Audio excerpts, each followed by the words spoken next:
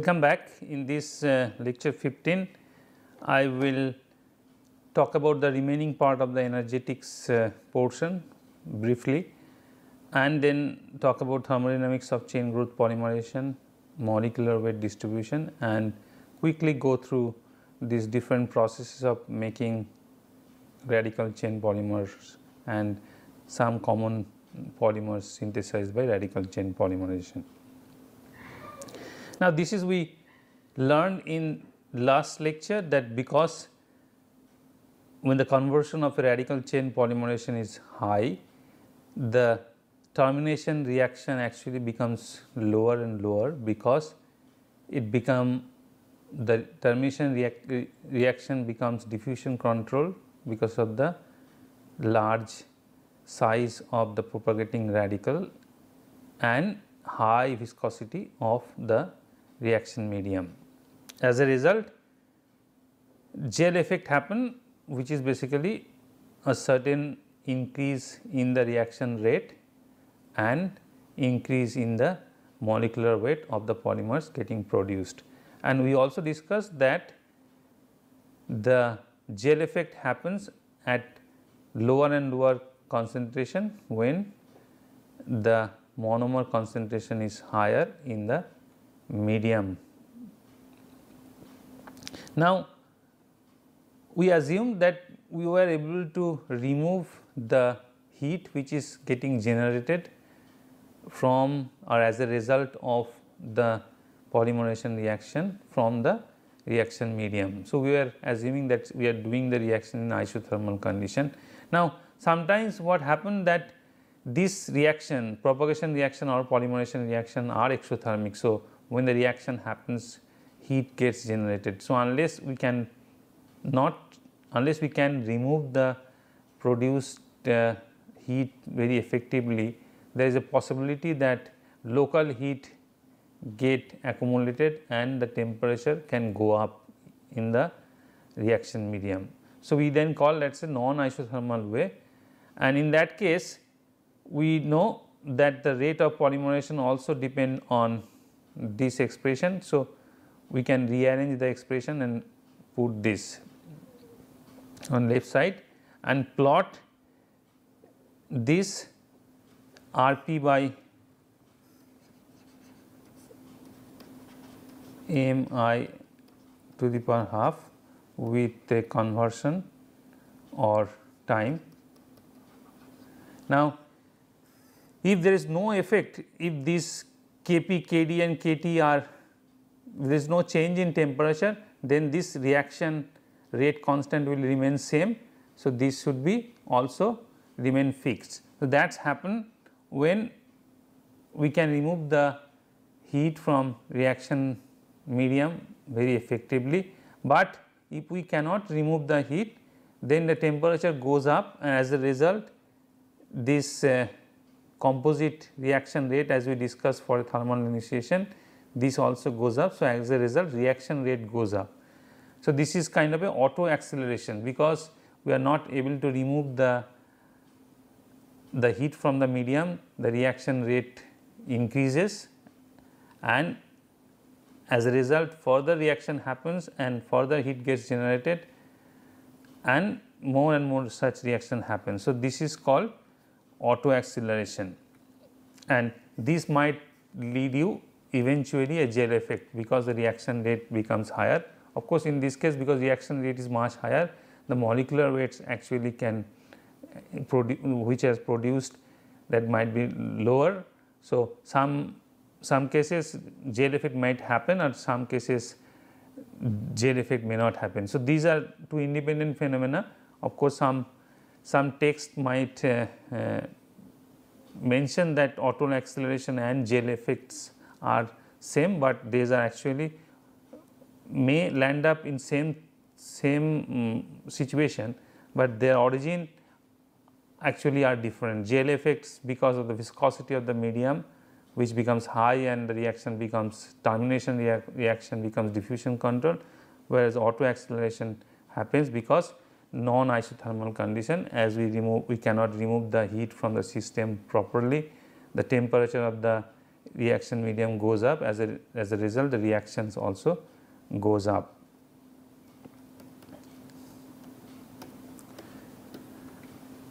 We will move to molecular next topic of molecular weight distribution and I just want to quickly bring uh, the step growth what we have seen from. So, dispersity from step growth polymerization we have seen 1 plus p where p was the conversion functional group conversion. So, the fraction of fun functional groups which got reacted or consumed during reaction.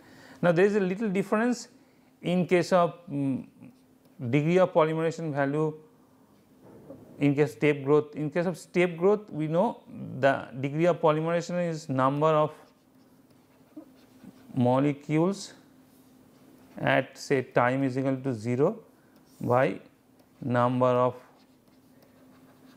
molecules at end of the polymerization.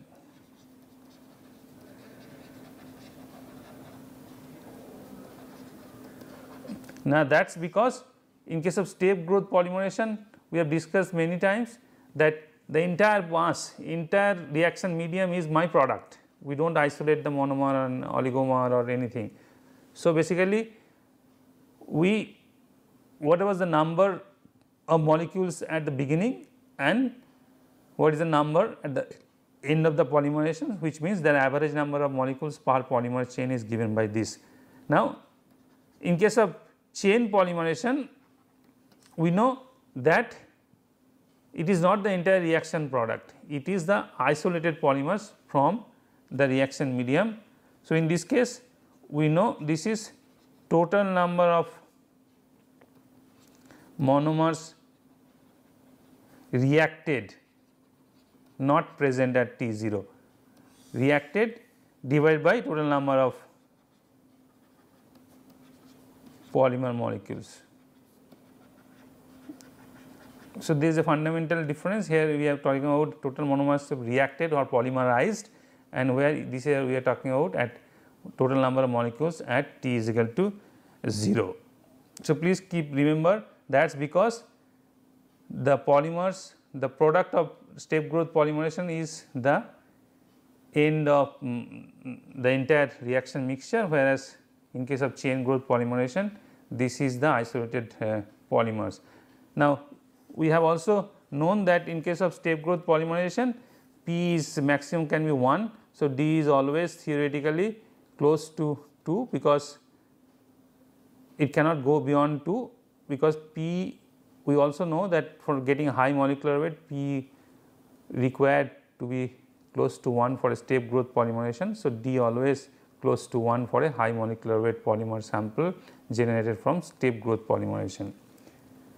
We will talk about chain growth polymerization now ex exclusively and uh, so we we know this is the expression for um, kinetic chain length which is related to molecular weight and degree of polymerization. Now, as we discussed earlier that the molecular weight or degree of polymerization depends on the ratio of um, concentration of monomer by i to the power half. Now, as the reaction proceeds this value this ratio changes or may change as a result we have also mentioned it earlier lecture that as a measure the, the as a result of change of value of this ratio, the size of the molecular weight which is getting produced at the different time of polymerization might be different.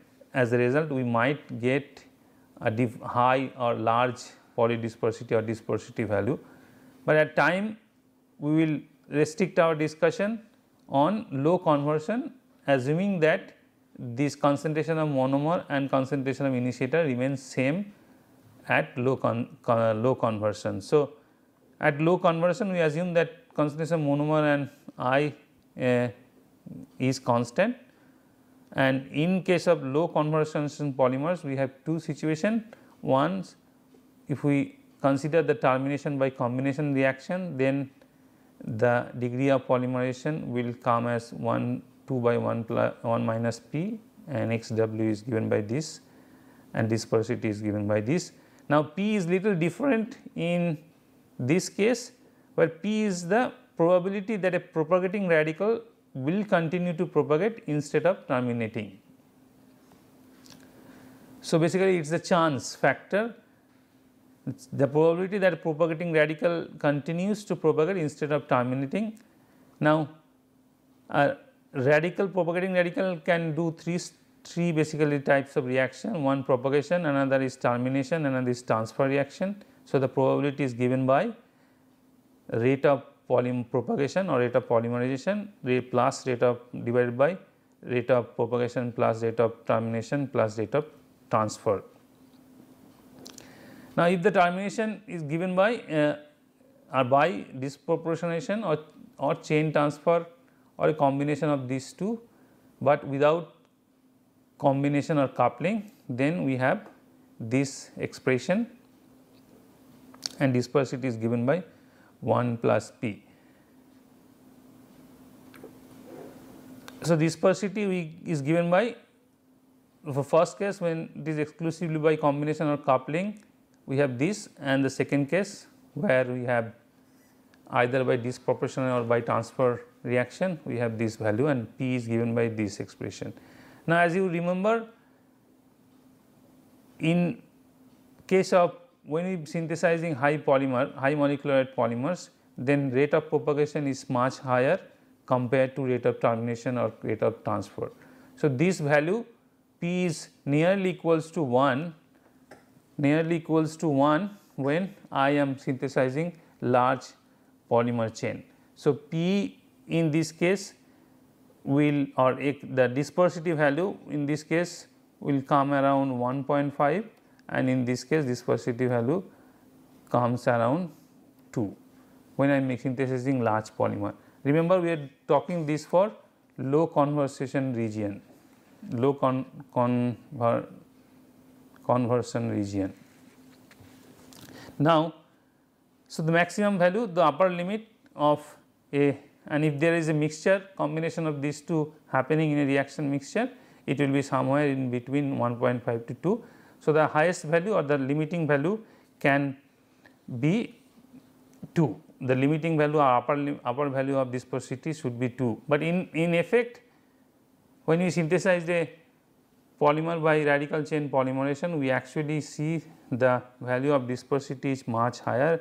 It is generally between 2 to 5 now, that is 2 to 5 Now, that is because we know this uh, factor which determines the xn value.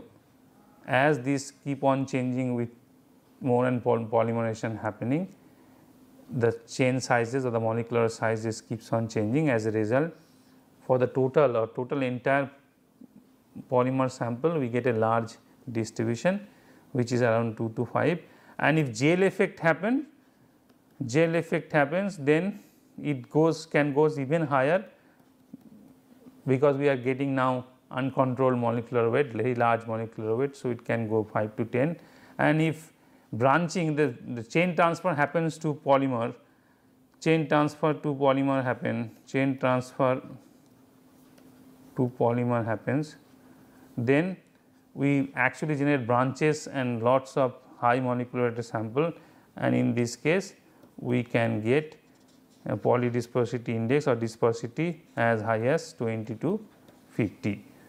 So, normal case low conversion we should get a this um, dispersity value is between 1.5 to 2, but in real case when we synthesize a, a polymer sample we get a dispersity value between 2 to 5 but if gel effect happen then my polydispersity can go even higher and if the chain transfer to polymer happen it can go even higher.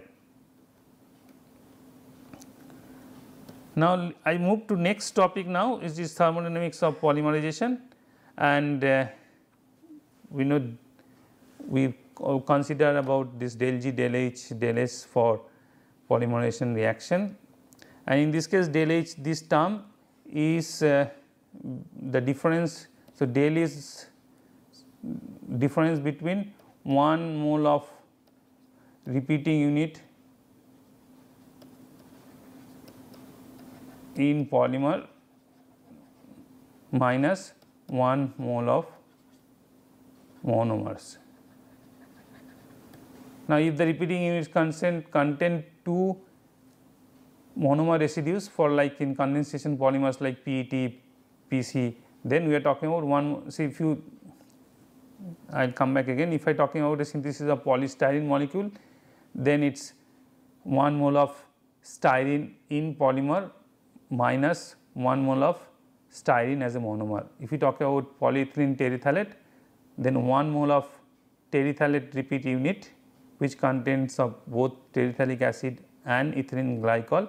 So, 1 mole of that repeat unit minus 1 mole of terephthalic acid and 1 mole of ethylene unit. So, you should remember when you talk about this del H, del G, del S, we are talking about this difference.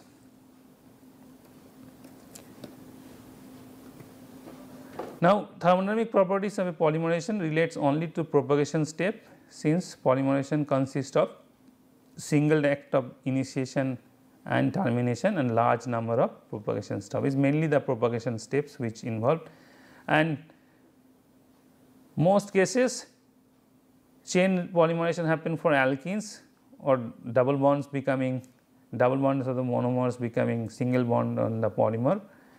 So, pi bonds is converting pi bonds of the monomers is converting to single bond as a result del H value is negative is exothermic reaction and as the monomers are getting tied up in large polymer molecule the entropy is lower because of restriction in degrees of freedom.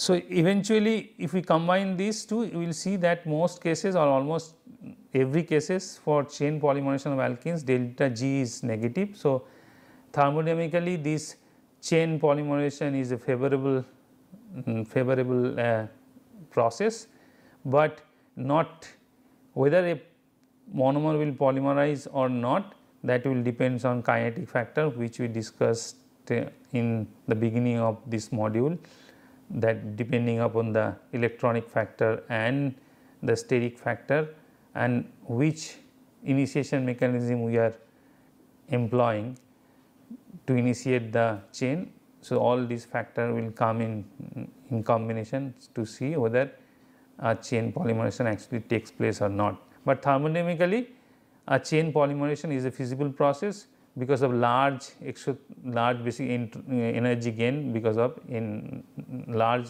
exothermic uh, heat evolved in this polymerization process. Now, till now we have been talking about mainly polymerization, polymerization or forward step monomers are reacting with the radical and becoming uh, a higher radical. Now, there is a possibility that the reverse reaction may also happen. So, we can consider the depolymerization also. So, in an equilibrium thermodynamic point of view, we should consider the both the polymerization and depolymerization reaction. And so, we can write this uh, forward reaction like this and backward reaction which is called de depolymerization reaction. So, we have rate constant corresponds to polymerization reaction forward reaction and we have a KDP which is for the backward reaction. Now, if we plot so the forward reaction depends on the forward reaction K R polymerization depends on K P M and m dot and the backward reaction depend on K D P M dot.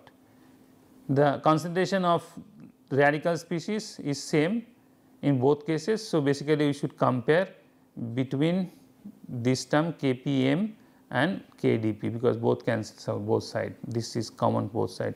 So, if you plot if we plot Kp m with conversion with time और conversion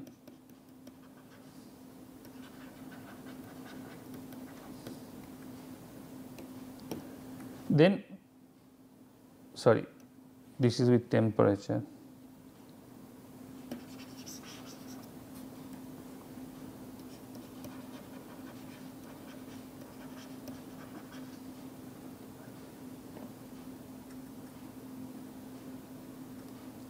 So, if you plot if we plot this term forward reaction with temperature we know for a thermal initiation it actually increases with increasing in temperature.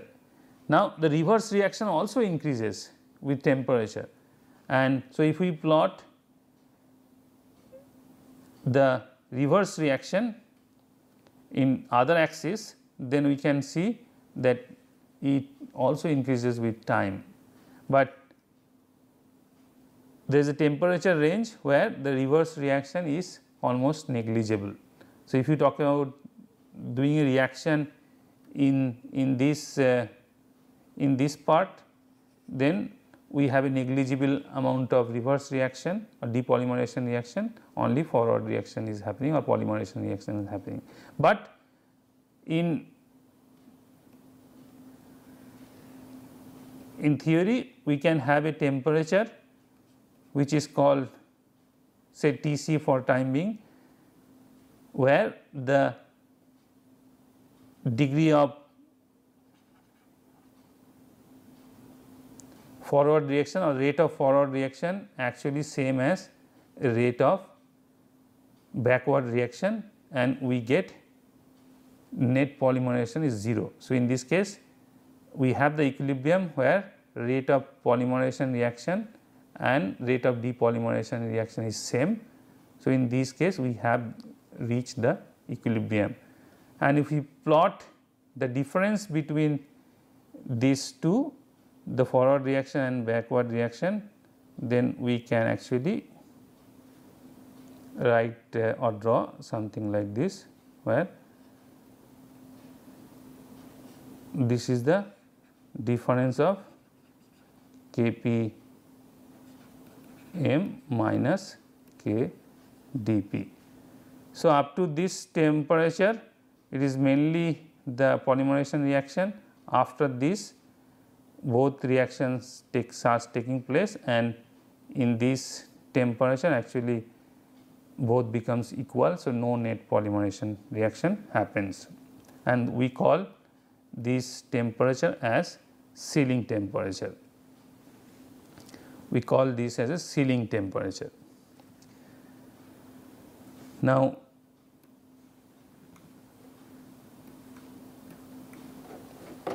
So, we will discuss more about ceiling temperature now. So, for this reaction if we talk about the equilibrium constant which will be given by the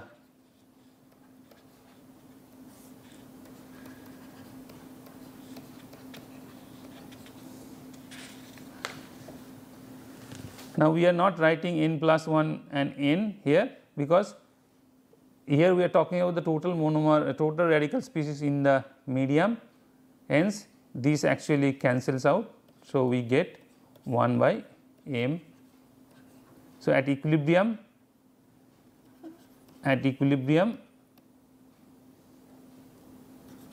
k is equal to 1 by m per e we should not ideally write this k, we should write q reaction quotient and we should write k this where m is the monomer concentration at equilibrium. Now, we can write del g naught standard Gibbs free energy. So, we can write R T c, T c is the temperature where this reaction equilibrium takes place. So, I can write R T C ln M E we can expand this del Z naught polymerization minus T C del S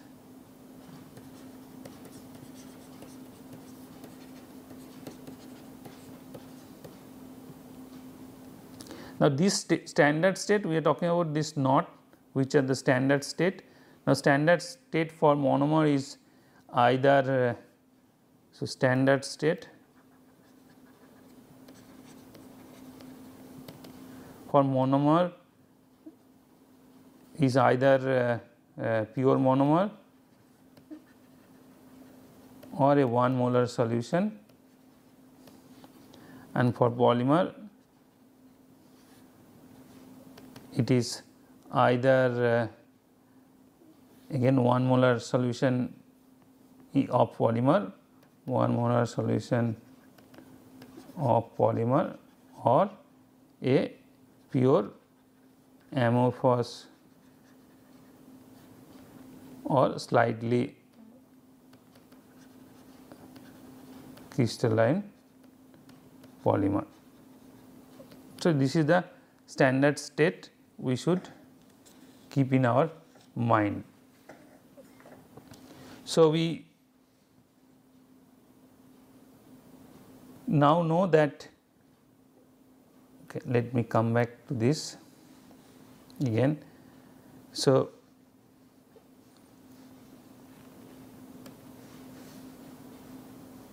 we have seen that k is given by 1 by E and if we continue continue our discussion so this this is a scenario where the equilibrium constant depends on the monomer concentration in equilibrium.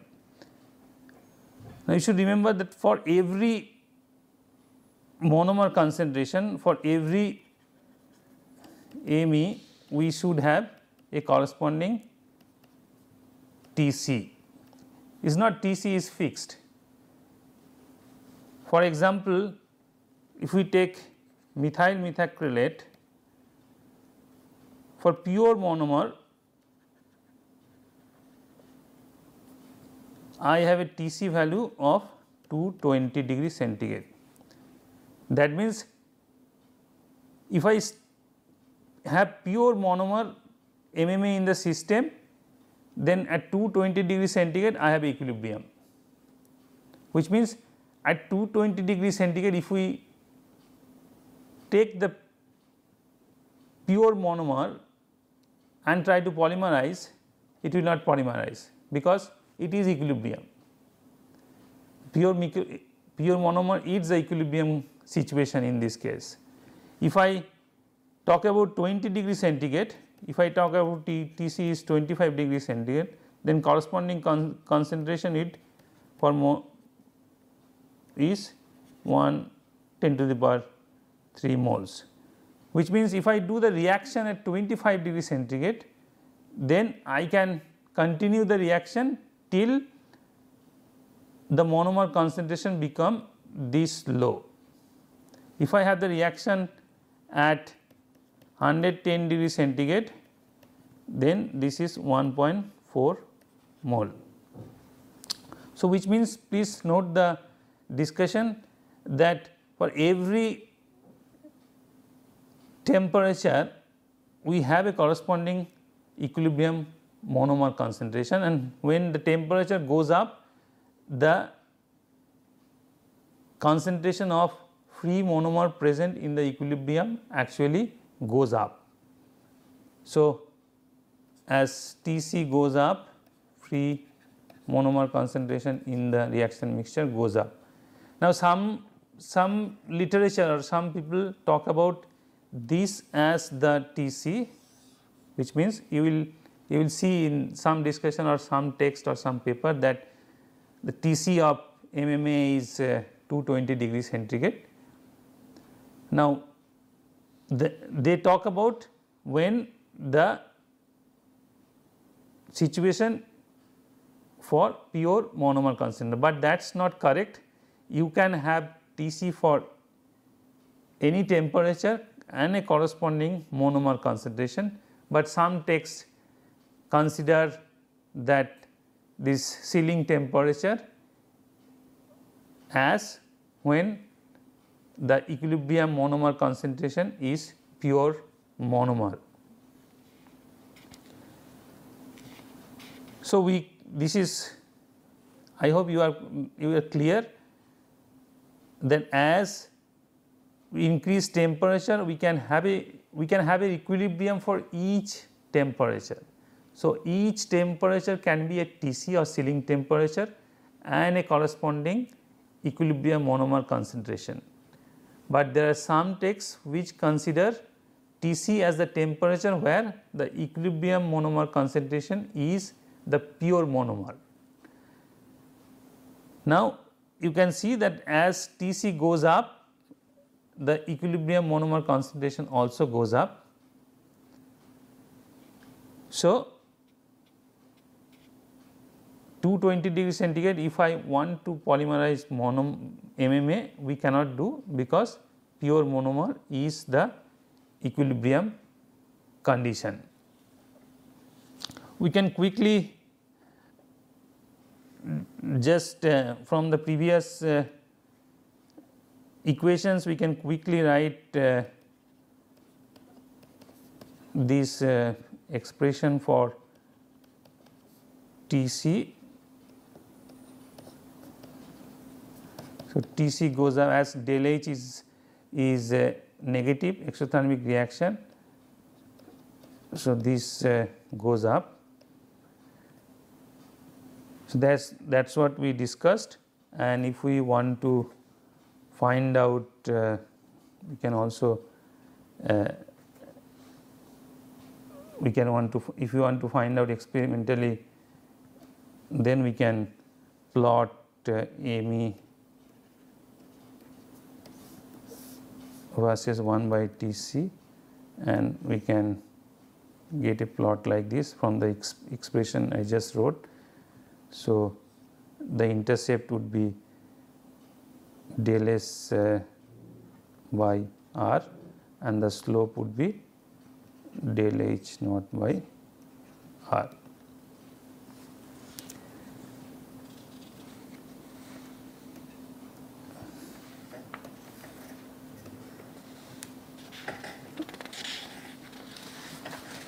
I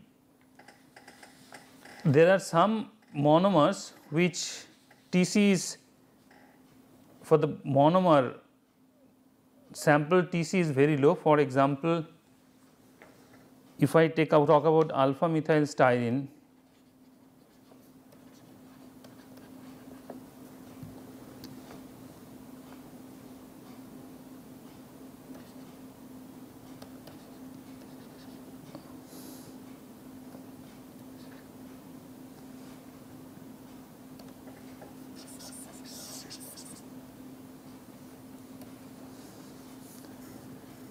for to get a Tc of at room temperature 298 K, I have say for this is I have written last uh, slide 10 to the power minus m styrene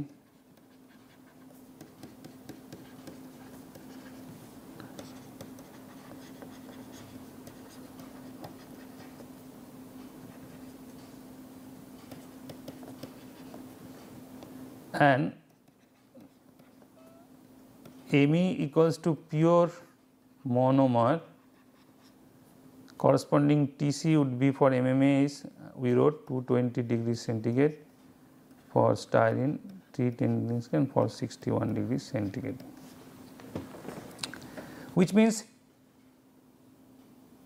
if I want to carry out a polymerization reaction for MMA at 298 degrees 298 K, the monomer concentration has to be over this concentration, then only the forward reaction or polymerization reaction takes place.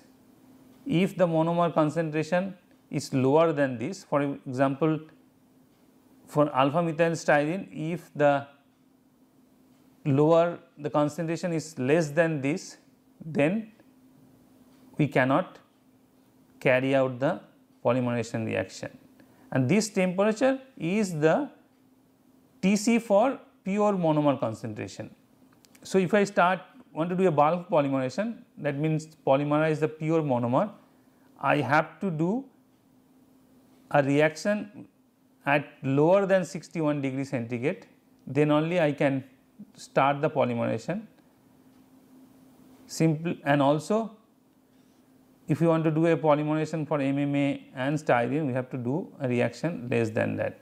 Now, there is also a false impression happen that if I take a poly MMA or polymethyl methacrylate above 220 degree centigrade that it will become monomer, but that is not possible because this reverse depolymerization reaction is the reaction of the radical present. Now, when the polymerization is complete there is no radical present in the medium. So, the depolymerization reaction does not happen, but in case we are initiating we are doing something we are heating up or we are doing some initiating species if we generate radical polymer radical in the system then if I keep the poly MMA or polystyrene above this temperature then the reverse reaction might happen and the polymer might depolymerize or we call it unzipping of the polymer. So, that you need to keep in mind that if we are doing or taking the polymerization which we do take during our processing polymer processing, we should actually devoid of um, generating radical species which might induce the depolymerization reaction. So, I will stop in this lecture and in the next lecture I will talk about uh, different processes of uh, synthesizing uh, uh polymers by radical polymerization.